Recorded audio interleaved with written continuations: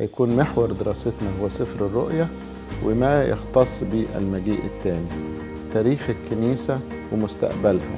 هل إحنا في آخر الأيام؟ أسئلة كتير بتحيرنا.